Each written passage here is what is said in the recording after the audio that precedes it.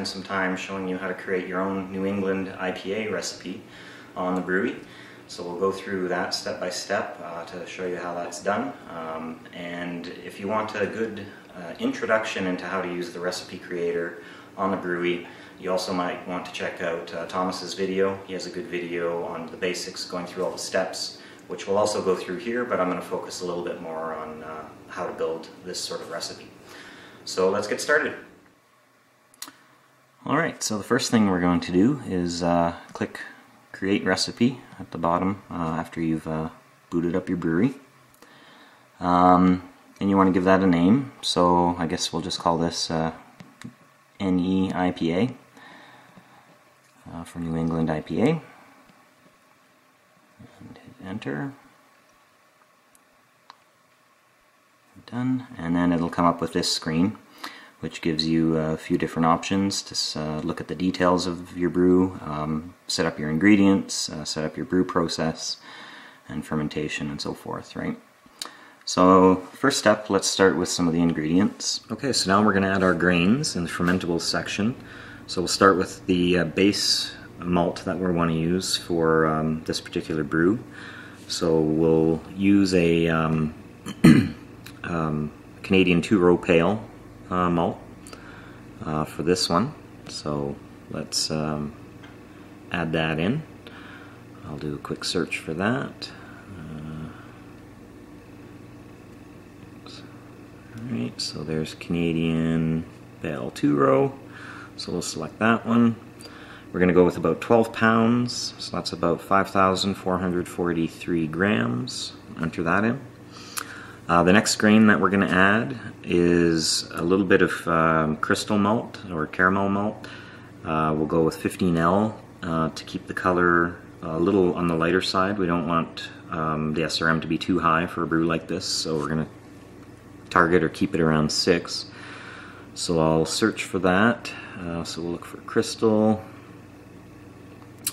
Uh, that's the 10L. We're going to go with the 15L select that and not very much of this. Um, it's only about 12 ounces or 340 grams. Enter that. And then lastly um, to give uh, the brew a little bit of more haziness um, we'll add a little bit of torrefied wheat. Um, and this is something you could experiment with as well. You could try upping the wheat or adding oats or things like that as well. So this is something that you can always play around with. Um, but for this particular recipe I think we'll just, um, we'll go with torrefied wheat.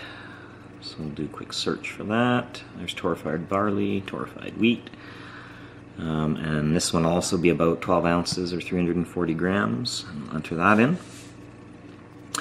And for this recipe, that's all we've got on the grain bill. So uh, just to recap, we've got um, 5,443 grams of the pale row, pale two row, uh, Canadian pale two row, 340 grams of uh, 15L crystal and uh, 340 grams of the torrefied wheat. So now we're all done with our um, um, grain bill. And so the next step uh, is we can move over um, and put our uh, hops in. So uh, for this one, since we're going to have most of our hops in the uh, whirlpooling stage, um, when we're cooling down our wort after the boil. boil. Um, we're only going to put a little bit of hops in hop cage 1. Um, so I'm going to uh, use, I think here I'm actually going to go with Apollo hops. So let's do a quick search for Apollo. So there we go, Apollo. I'm going to put about half an ounce or only 14 grams because we don't want um, too much bitterness uh, coming from the boil hops. We just want a little bit from that, and everything else is going to come from the whirlpooling in terms of um, flavor and, and, any additional bitterness uh, coming from there. So, so now we've got that entered in. Um, the next thing I'm going to do um, here is in the second hop cage, um, we don't have an option for it here. Our brewery doesn't have an option for it here yet, but I'm just going to talk about it while we're on this menu. So in the second hop cage, I'm going to actually add some um, turbinado sugar Uh, so that's just you know raw um, kind of sugar crystals. They kind of have that that browny sort of color to it. So we're going to actually add some of that into hop cage 2. Um, and that'll just basically add some more sugars to the wort as, as we're brewing. Uh, and that'll get dissolved you know, during the boil. We'll, we'll circulate that on hop cage 2 for the last you know, 10 or 15 minutes and that's going to bring our uh, original gravity up and then add a little bit to our fin finishing uh, ABV uh, or alcohol level for this this brew. So there's nothing to add here right now, um, so we'll leave it as is. But when we're programming uh, the brewing uh, process, we'll make sure that we enable hop cage 2 to circulate wort through there uh, during the last 10 minutes or so. So as far as ingredients for now, we're basically done. So we'll go back to the main menu here. So we've entered all our ingredients. So now we'll go to our brewing steps next. Um, so the first thing we'll do is um, start setting up our mash-in water volume and temperature. So one thing I want to mention here, um, in the brewing manual there's a good table that you want to reference to kind of give some guidance as to what's a good balance of uh, mash water volume and sparge water volume depending on the total grain bill that you've got for your recipe. So you can go back to the ingredients that um, we entered here, look at your total grain bill, and look at that table that Brewie has in, in the manual and the documentation and kind of use that as a guideline. Um, so for my particular grain bill, um, a reasonable, uh, reasonable um, mash water volume is sitting in the neighborhood of uh, 15 liters. I'm actually going to do about uh, 15, 15.3. Um, so I will enter that right here. And you can even see at the top, kind of Brewie's giving a recommendation given the grain bill we've entered. So I'm going to go with 15.3. We'll enter that in. I like to have um, you know, a little bit on. I like to err on a little bit on the higher side for mash water especially for larger grain bills, so you don't end up with a stuck mash, and you know you're getting good water circulation through uh, during your mashing steps uh, with Brewie. So, so we'll go with 15.3. Um, now mashing water, I'm going to do about 55 degrees for uh, initial mashing temperature. Um, now here we can also do our add our sparging. Uh, so I like to sparge at the end around 78 degrees, so we'll enter that in. I'm going to do at least 20 minutes of sparging. You could go a little bit more if you want, um, but I'll go with 20 here for the purposes of this recipe. And then in terms of volume, I'm targeting this recipe to kind of be a finishing volume in the neighborhood of 19 to 20 liters. Um, so for sparging water, I'm going to go with about 12.8. And again, you can see Brewie at the top is making a recommendation, you know, somewhere between 0 and 13.7, um, which you don't want to go over so you don't uh, have to worry about any boil um, um, spillovers or anything like that. So we'll enter that in for our sparge water. So that's all our volumes and initial uh, mash water temperatures and sparge water temperatures. So the next step will be setting up our whole mash process. So we've set the mash mash in, or the initial. I like to set up a multi-step process, so we're starting at 55 degrees C with the mash in, so I'm going to add a first step that's at the same temperature. I always like to do this, start at the same temperature. Oh, whoops, sorry, entered in the time. I'm going to do this for 10 minutes. So 10 minutes. Uh, and temperature, as I was saying, I like to put the first step at the same temperature as what we set in the uh, mash-in uh, portion, just so that um, you don't run into any um, issues or anything like that. So I always like to start it off there. Um, so now we've got that first step. Now I'm going to add a second step so now I want to raise the temperature up to about, go to around 69 degrees Celsius. And this will be kind of my main uh, mashing step, so I'll do this for a full hour. So full 60 minutes on this step. And then I'll do a mash out step um, at higher temperature, so I'll raise it up to about 76 degrees Celsius. And then we'll mash that out for a good 30 minutes or so. Um, I like to do mashing, a total mashing time that's, uh, you know, well above an hour. Try and extract as much of the sugars as we can out of those grains and, and get a little bit better efficiency. And we'll talk about the efficiency a little bit later. Um, but this pretty much sets up all my mashing steps now, so we're done there. Um, then the next step, we'll go over to the hopping um, menu. Uh, so as you recall, we had uh, set some hops in hop cage number one, the Apollo hops, and it's showing up here on the on the Brewie screen. So we'll do we'll uh, I'll, do delayed hopping. So I'll let the oh, modify. Uh, we'll do delayed hopping to let the um, let the wort uh, really get boiling a little bit before we start um, circulating uh, the wort through the hops. So I'll usually do anywhere between 5 or 10 minutes, not too long, just to kind of let a good rolling boil uh, get going. Um, and then on the uh, Apollo hop, so we're going to do that for the full boil time, 60 minutes. So on hop cage 1, I've set that for 60 minutes. And then for hop cage 2, so again that's where I mentioned we'll have the, the raw sugar that we'll add in there. Um, and by the way, the amount of raw sugar we would stick in there uh, will be 12 ounces, so about 340 grams of that sugar. Um, so we'll stick that into hop cage 2, and I'll put that in, say, for the last 15 minutes of the boil. Give it enough time to dissolve and circulate and mix with the wort. And then that's it for hopping. So then we're done that step, and then we'll go over to the last menu here, which is really just the target temperature for cooling um, so we'll set that up as well. I usually like to use around 25 degrees C or so. Um, that way it cools a little faster. Uh, if you happen to have somewhat warmer uh, temperature tap water, um, then you won't uh, be, be stuck waiting a long time. Um, and then this gets it uh, well within the range of you know the typical ale uh, type yeasts that you might be using um, to ferment this later. So.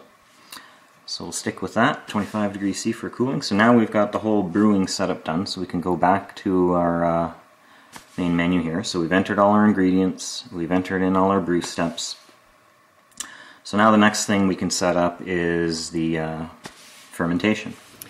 And we'll add some details here. So I'm going to rack this. Um, I'm not going to be bottling this, I'm going to keg it uh, will enter the length of time for fermentation. So I usually put about three weeks. Um, and uh, the temperature um, that I'm going to use here will be about 18 degrees Celsius. Uh, I, I, usually ferment in my basement where the temperature is very consistent, uh, so I don't have to spend a lot of effort on uh, temperature control or anything like that.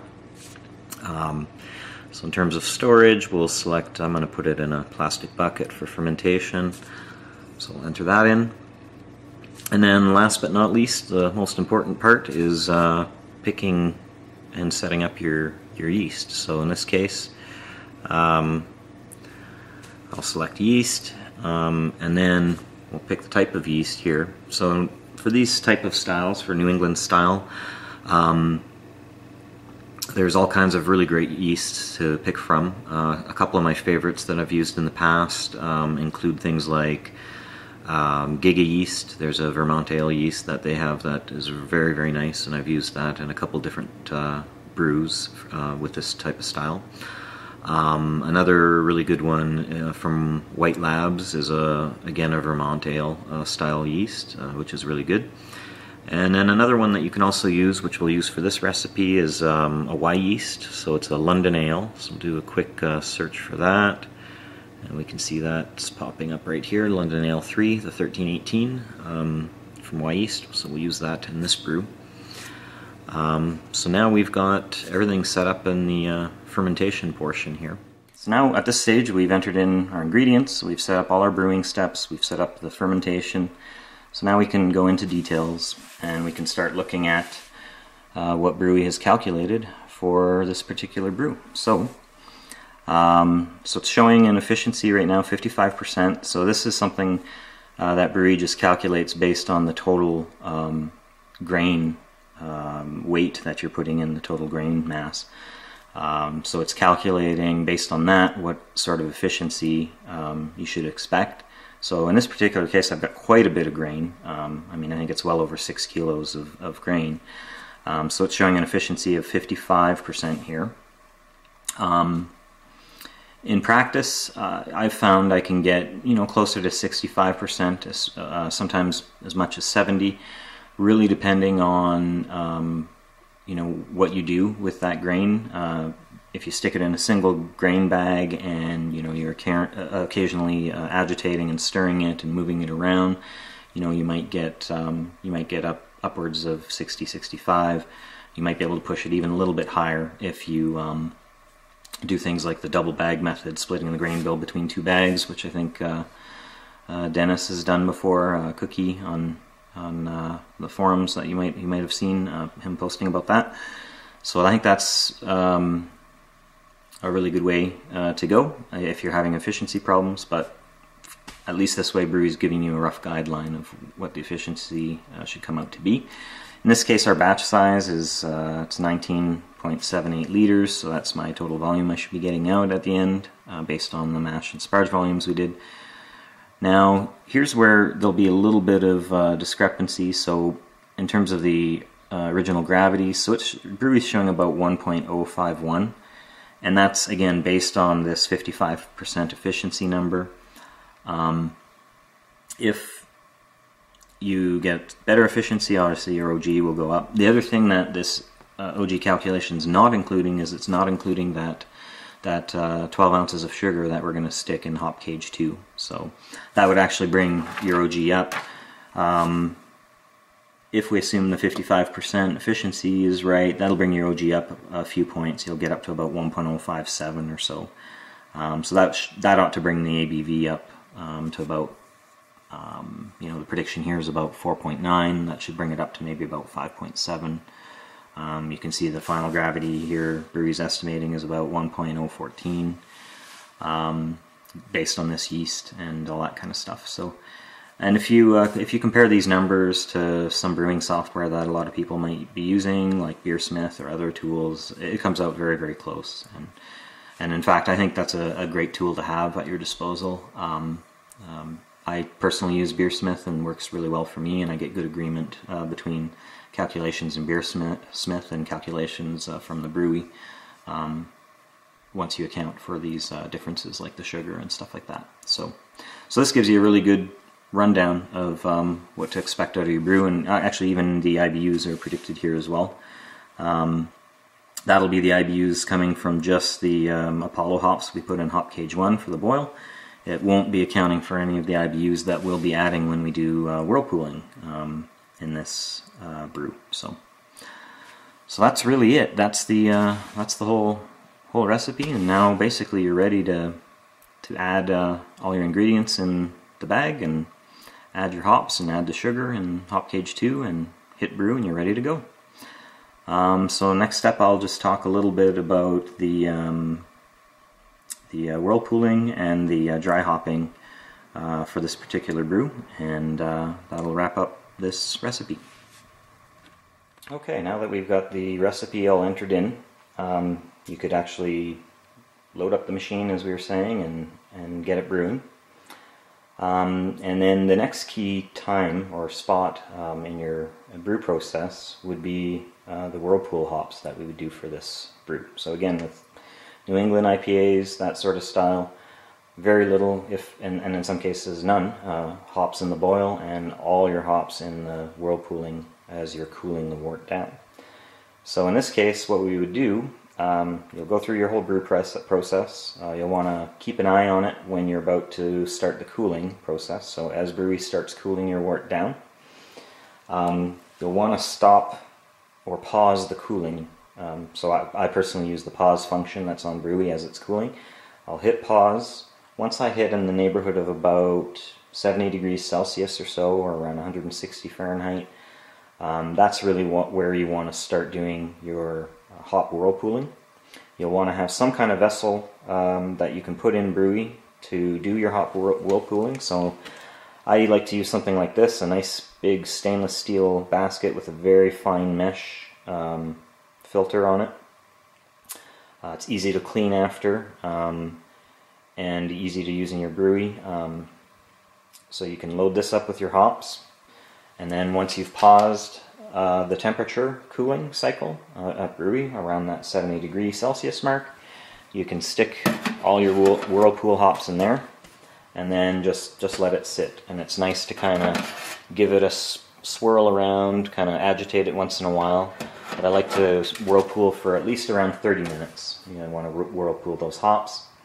Um, if you want some more details on that, I have an article that I wrote up um, on how to do this with the Brewie, uh, with some details and some other pictures, so that might be a good reference for you if you're looking at on how to do that. But in this particular case, um, for this recipe, what I uh, usually put in uh, for this one, I do about two and a half ounces or 71 grams of Simcoe, about an ounce or 28 grams of Centennial hops, about 0.75 ounces or 21 grams of Apollo, uh, 0.75 ounces or 21 grams of Columbus, and then about 0.75 ounces or 21 grams of Comet hops. And we stick that all in there um, and whirlpool that for at least 30 minutes. And then for this recipe, in the last 10 minutes of the whirlpool, so after you've had that first chunk of hops, going in for about 20 minutes. In the last 10 minutes, I add another 21 grams or 0.75 ounces of uh, Simcoe hops. Um, and once you're done the whirl whirlpool, you can you can pull this out if you want, um, and and uh, get rid of the hops. I personally just like to leave it in. I'll leave it in there and let brewie continue finish cooling because you're still getting some circulation when you've resumed that cooling process, and you get just a little bit more hop, hop whirl, whirlpooling there. The only thing that might do is affect your uh, IBU level because, um, again, you're going to get, you're going to extract a little bit of bitterness um, from the hops when you're whirlpooling.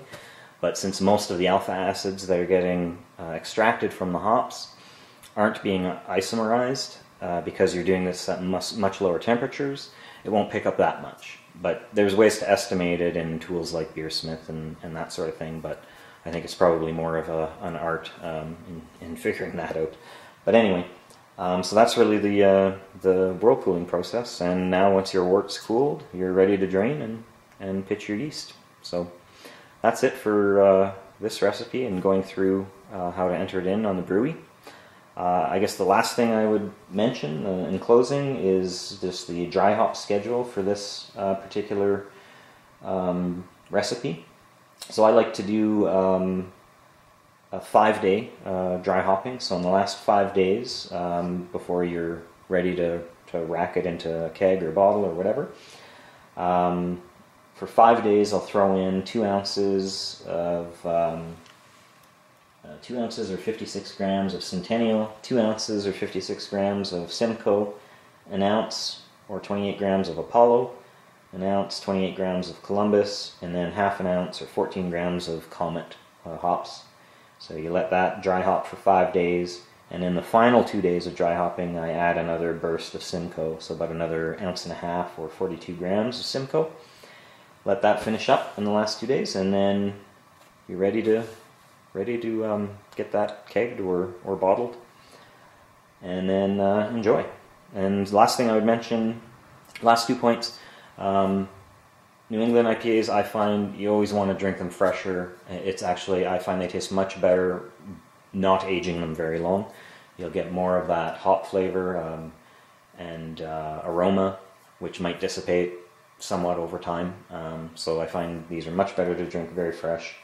Um, so once it's carbed up, I, I would say start trying it out right away.